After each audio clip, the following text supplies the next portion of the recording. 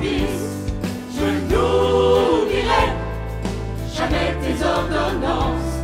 Je suis à toi, Dieu de ma délivrance.